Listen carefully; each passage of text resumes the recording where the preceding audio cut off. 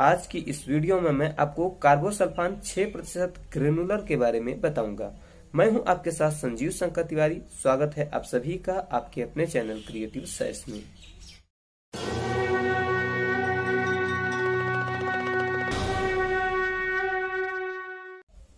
Carbosulfan carbonate group का दानेदार के रूप में पाया जाने वाला कीटनाशक है, जो अपने लक्षित कीटों leaf folder stem borer green leaf hopper इत्यादि को संपर्क पेट व धूम्र कारक के रूप में मारने का काम करता है। यहाँ धूम्र कारक से मतलब है कि अगर इस दवा से निकलने वाली जो दुर्गंध है, वो कीटों के अंदर अगर चली जाती है तो भी कीट मर जाएँगे। इसका प्रयोग आपको सात किलोग्राम प्रति एकड़ के हिसाब से करना है। और प्रयोग तभी करना है जब आपके खेत में उपयुक्त नमी हो। अगर नमी की कमी दिखती है तो आपको एक बार सिंचाई करने के दो से तीन दिन बाद प्रयोग करना है।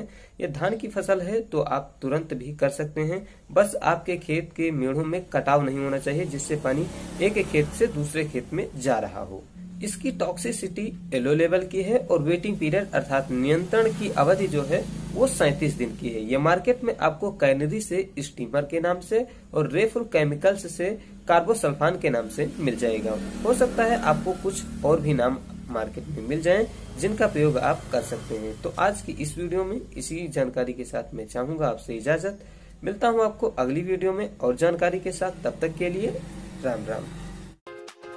Subscribe and press the bell icon on the YouTube app to never miss an update.